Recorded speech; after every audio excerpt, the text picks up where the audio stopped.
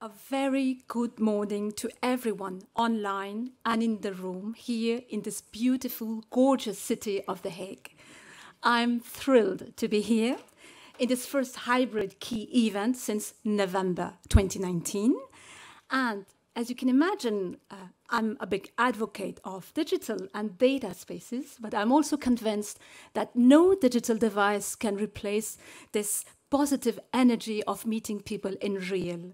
So I would like to thank Mrs. Knibbeler for hosting us today, and also since 2007, which she reminds us graciously. And I would like to thank the Europeana team uh, for bringing us all together because hybrid events are not easy to organize. So, very well done. Bravo. The Europeana conferences have, been, have become an important policy milestone in addition to being a key event for the community. Last year, Commissioner Breton announced the new policy vision of the Commission and the framework that we put uh, on the table, which is called the Recommendation on a Common European Data Space for Cultural Heritage. It was published on the same day as the Europeana Conference on the 10th of November 2021. And today, one year later, I'm very happy to say that we have met another key milestone, which is to set in motion the rollout of the data space through two strands of work, which are, on the one hand, the operations of the central services, and on the other hand, the projects that are going to enrich the offer that the central services are going to offer to the community. So I'm very pleased to announce that the operations of the central services will be done by an excellent consortium led by Europeana Foundation together with 19 partners. And this really reflects the um, complicated, complex, advanced expertise uh, which is needed in this endeavor. So, congratulations to all the partners and welcome on board. We have a lot of work ahead. And this work uh, will, con- will combine continuity as well as change. Europeana Foundation, under the leadership of Harry, will make sure that we build on the work done so far.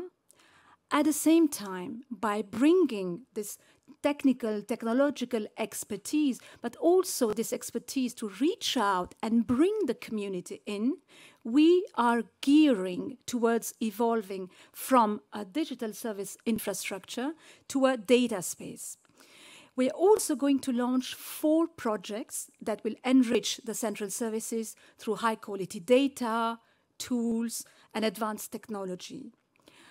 The data space has been the main topic of our conversations since last year at the Europeana 21, at the conference under the French presidency, at the European Aggregators Forum, and now at Europeana 22.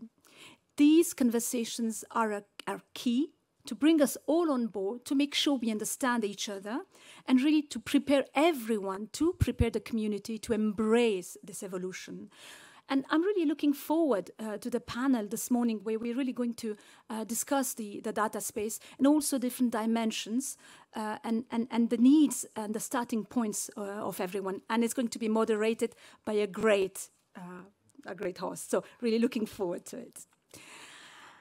In the age of virtual world and metaverses, we need more than ever to show our value proposition our vision of a data space that empowers cultural heritage institutions to share widely the amazing content, the treasures that they hold.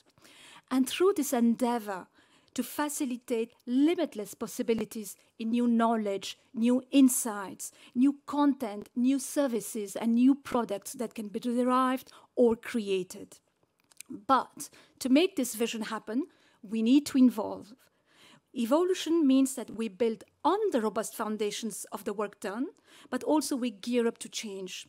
And change is a work we don't like because it is it, it pushes us out of our usual boundaries, out of the comfort zone we have been operating under. And I quite like the words by Barack Obama, the former president. Lily, you quoted Galileo. I'll quote someone who's still living. And President Obama said, Change will not come if we wait for some other person or if we wait some, for some other time. We are the ones we've been waiting for. We are the change that we seek. And this is why we are here today to discuss these coming changes, to turn this digital service infrastructure to a truly federated data space where we make full use of advanced technology such as artificial intelligence, such as data, such as open data, linked data that you mentioned, such as virtual reality. A data space where we reach real, seamless multilingualism.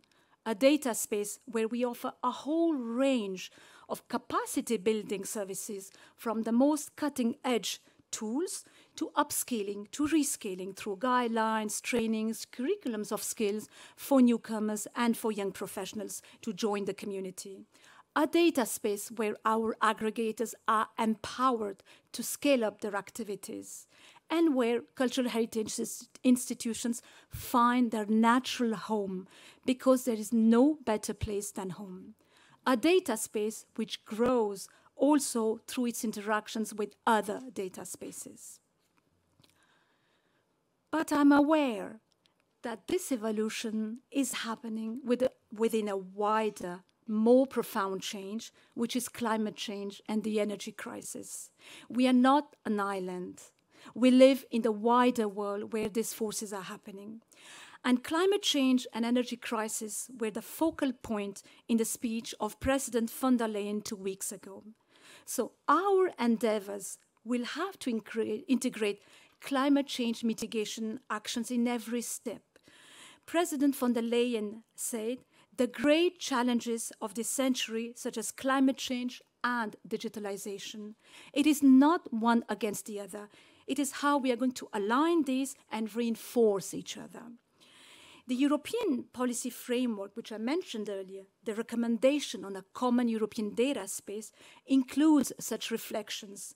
It encourages member states to have a comprehensive digital strategy that takes into account the purpose of digitization, the target user groups, the highest quality affordable, the digital preservation, which is so much needed to make sure that valuable cultural heritage assets are preserved for the generations to come.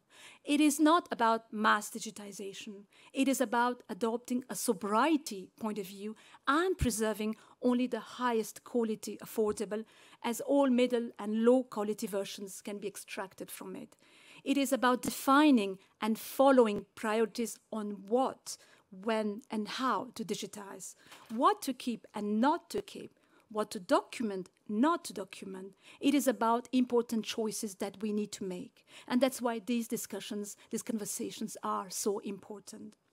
And it is my aspiration that the data space will also contribute to this climate change imperative towards a net zero environment that President von der Leyen mentioned. For instance, with information about the carbon footprint of preserving and using each digital object. For instance, I know that many cloud and data centers providers are not very keen on providing the info on carbon footprint, but we should find out which ones do and integrate them in our reflections for making, for developing our strategy. So addressing these challenges will require conversations like these today and many more that we will be having over the three days, over the years. It will also require us to acquire new skills ups, uh, um, to uh, improve our skills, and it will uh, require oh, us to work together.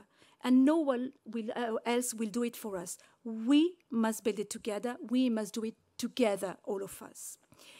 The foundations are there, the continuity I mentioned at the beginning, the 15 years solid work, the, the institutions. Now it is in our hands, and I'll keep my hand out of the mic to implement it, uh, this new vision, and to make it a reality altogether. And with this, I'm done, and I will leave you with these thoughts and wish you a very inspiring conference. Thank you.